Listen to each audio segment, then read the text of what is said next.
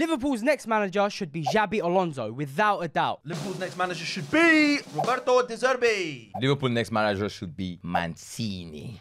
Bayer Leverkusen were 17 and now they're top competing for the title. And Xabi Alonso already knows Liverpool. That's his second home. He called me, he told me, it's my second home, I want to come. I think the way Yeah, he but you start football- getting sentimental about managers, you're going to end up with Steven Gerrard. Listen, anything but Steven Gerrard. Is he not the GOAT? As a footballer, he is. Not as a manager.